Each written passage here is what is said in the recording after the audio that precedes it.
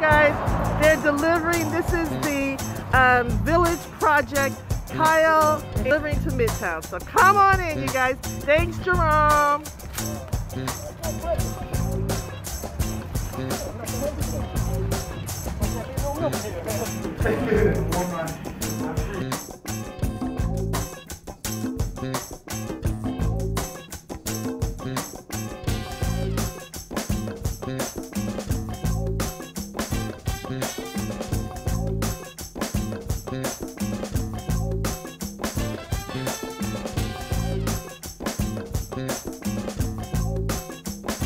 A beautiful day at Midtown. Hi, everybody. I, I just, anything that has a skin on it, and I love keeping the skin on because of the nutrients. Um, I scrub the outside with my nice brush. I get to check it to see if there's any mold or, you know.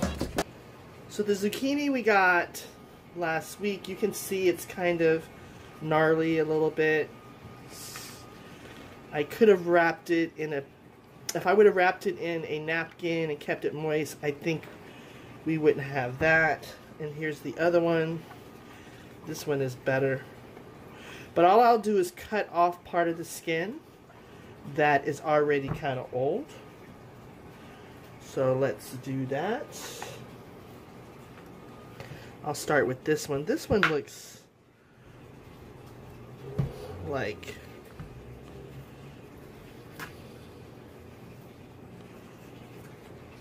Now the zucchini and the broccoli are going to roast quicker.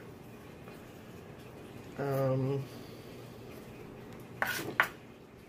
so, so you don't beat yourself up if you can't do it right away. Everything that I'm saying to you is ideal. And you see that you can still save it. Just put it in the refrigerator and then you can pull it out when you're when you're actually ready to cook, spend some time cooking. Right? So I think that's pretty good.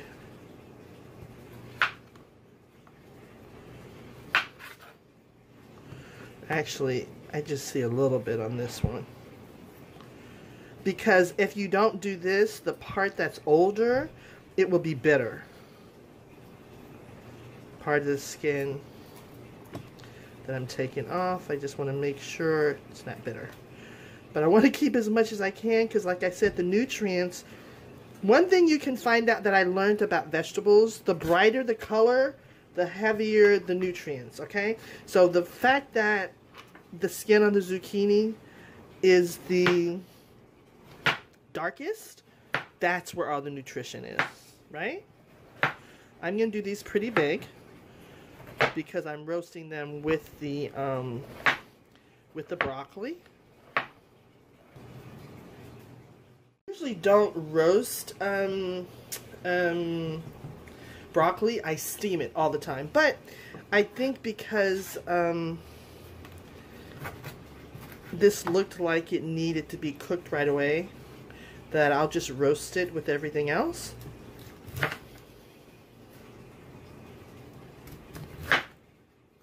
And I think if I leave it like that,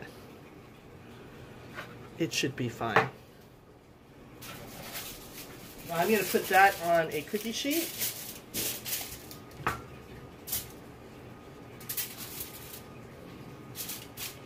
And I'm also going to add the zucchini we got last week.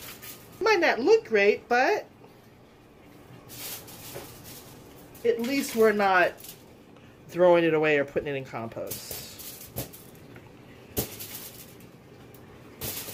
And they're going to taste really sweet and good. Watch, watch, watch, y'all. We can do this. Watch. This is really easy, y'all. I like doing easy. Just have to set time aside to do it. You know what I mean? Wash them. Okay, what are we going to do here? Kosher sea salt.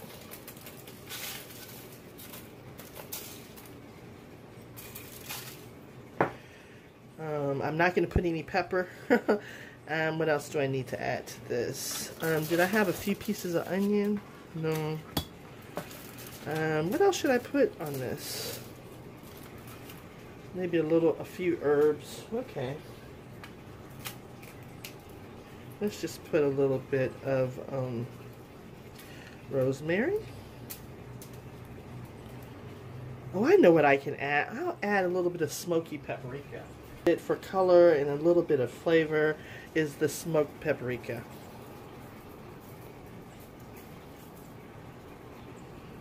All right. A little bit of olive oil.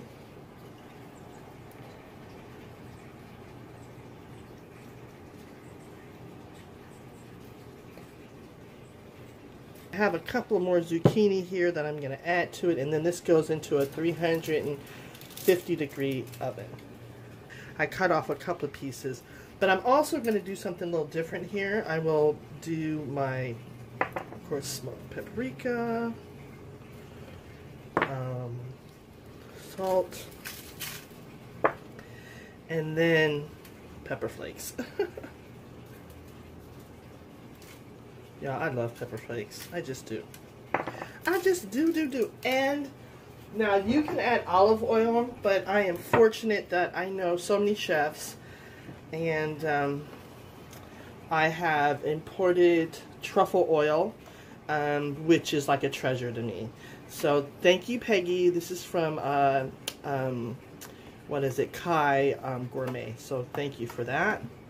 So we're going to just gingerly and those who don't know what truffles are, they're kind of a musty, they're a, they're a mushroom, kind of.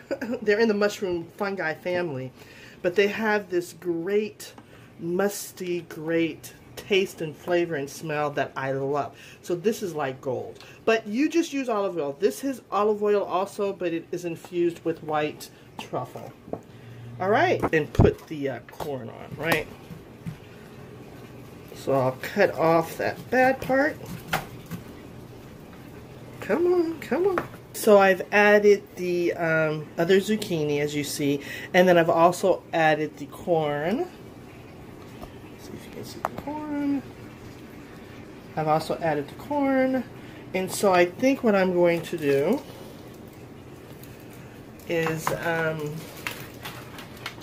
there, that's a better look. I'm going to add to the corn only the chili lime. I love this. A little bit of heat. I was going to do chipotle, but I like this better. It's a little milder. So I'll just put that over the corn. A lot. I like a lot. Um, okay. And then now we're going to take it 350 degree oven. Um, throw all this away compost. and um, away we go. It just takes a few minutes. All right. Okay, 350 degree oven. I preheated. And now we're to add the zucchini, the broccoli, and the corn. And so here we go. Oh! And I like putting it on the last rack because I like to get it really caramelized. So hopefully the oven will close. But there we go, y'all. Set it and forget it. Woohoo! Midtown, we can do this. Yummy. All right.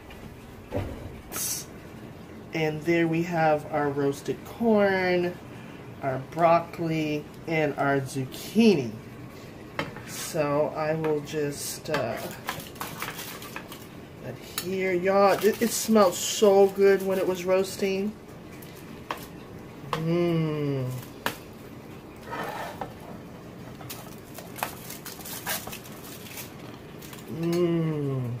Looks so good.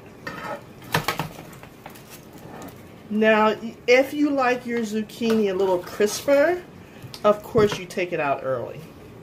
So I would normally probably have taken this out earlier, but I was busy um, jamming to uh, um, Club Quarantine with D-Nice.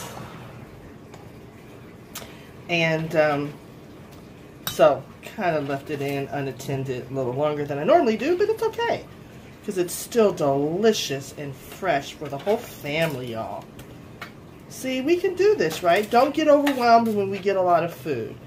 Go on and take the time to prepare it. And literally, zucchini freezes so well. You could thaw it out, make a soup. Um, so many things or just eat it. Okay, y'all. Midtown, we can do this. We can do this. Out on our beautiful sunny deck. What a beautiful day today, y'all, at Midtown.